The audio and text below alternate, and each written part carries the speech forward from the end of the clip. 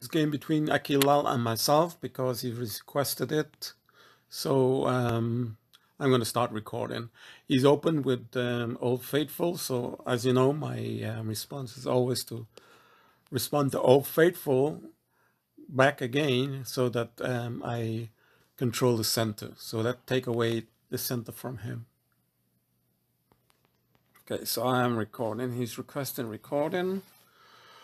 Okay, so he's developing his um, single corner, but because I've got um, a checker in the center, then it stops him from actually developing his single corner before I can. So I'm going to develop my single corner right now. Okay, uh, you're going to make sure it's safe to keep on developing my single corner, and it is because he can't pull any tricks if I move my checker here. So I'll move my checker here.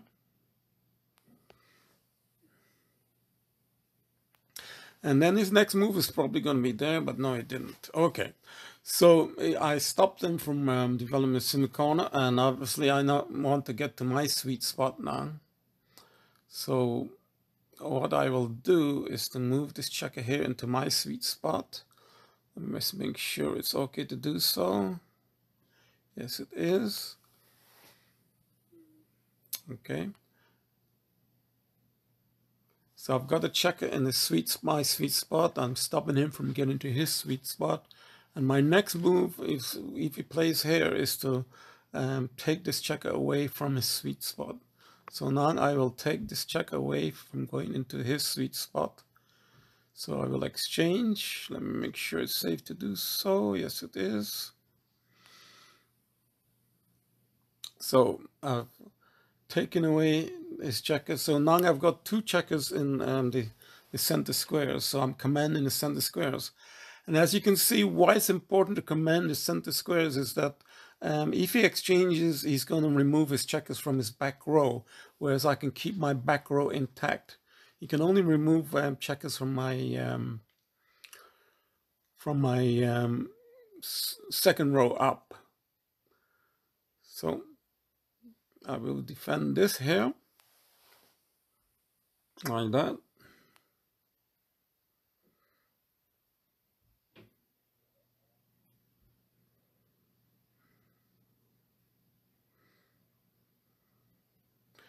And now he's lost a checker. Okay, let's just make sure he's lost a checker. Yes, he's lost a checker. He's going to lose this checker no matter what because I'm going to squeeze him here. So even if he exchanges, he's going to lose it. Okay, so he's going to lose this checker here, no matter what he does now. Because I'm going to squeeze it and then I will exchange this checker here with this checker. So he has lush.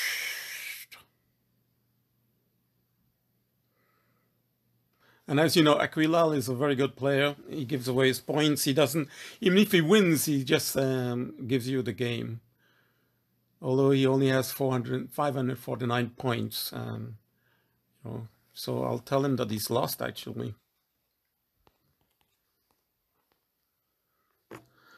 And I'll predict you've lost. Okay, so now I squeeze him here. Let's make sure I can do that. And he's lost the checker.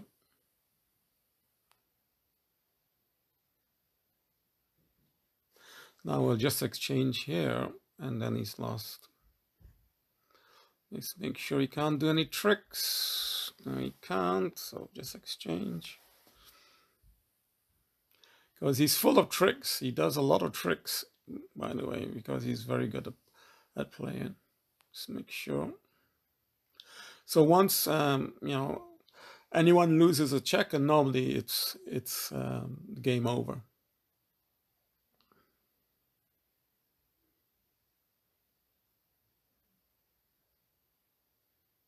So he's lost this game. Make sure, okay.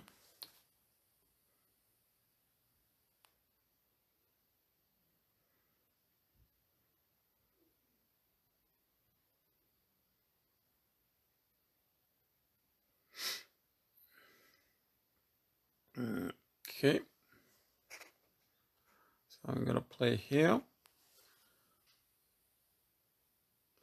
And then his only move is to play here. Yeah. And then what I'm going to do is to squeeze him now. I will squeeze him. So if you lose another checker, you lose another checker here. He's going to lose another checker. So he's lost another checker. So that's that's two checkers down. Let's make sure that this position is okay here.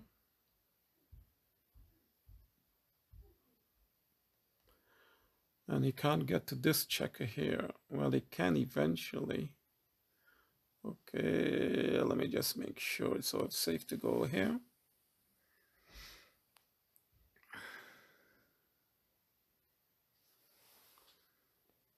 Okay.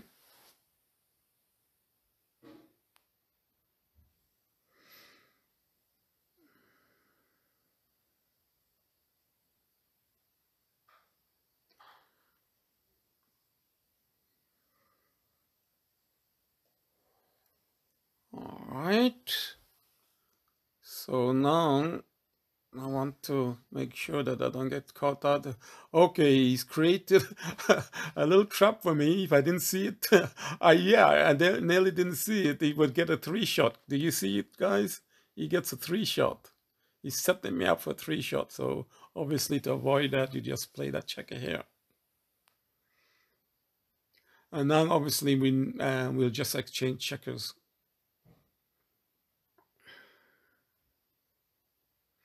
And if he, does, this checker is hanging here, so he can easily lose his checker soon as well.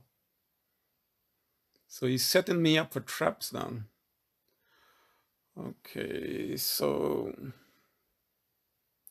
he's going to attack this checker here. I'm going to make sure. Okay.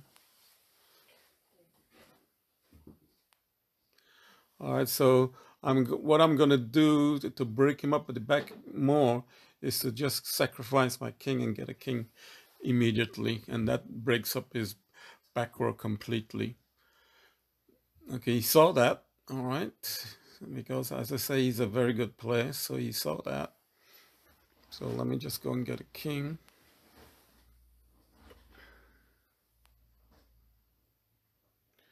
Now he's going to go after this checker. So how do I avoid that? Okay. If goes after that checker. Okay.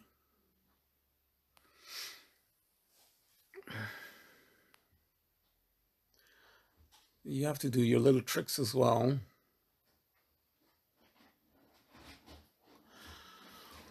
So he's going to get that checker in any case.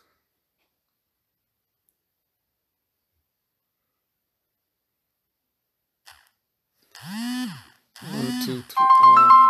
Oh, okay. Oh boy. This is breaking my concentration. Oops. Oh no. Oh, stop. Okay. One, two, three, one, two, three, four, five, six, and I've got, uh, I've got to do this. I've got to hit him for a three shot.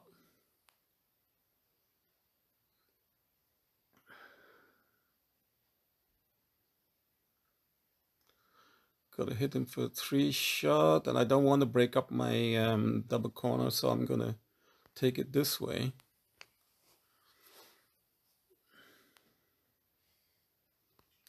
So I hit him back for a three shot. Yeah, I couldn't think fast enough for four and four, but I've got a better position than he has. Okay.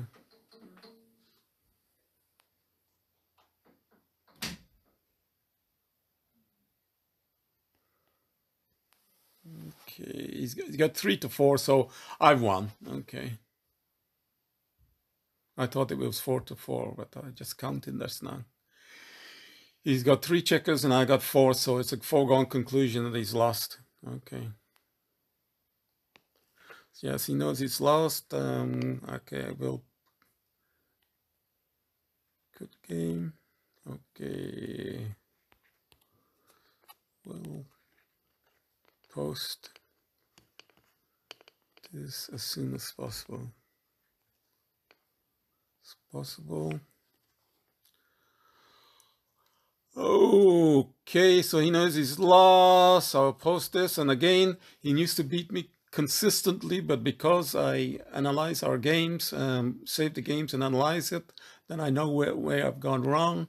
And um, that's how you can win and improve your game just by practice, practice and playing and learning from your mistakes. So thank you very much guys for watching um, this video. Please stay safe and please hit the like button and subscribe button and add any comments that you want to. Of course, I will respond to your comments. Have a great and safe day.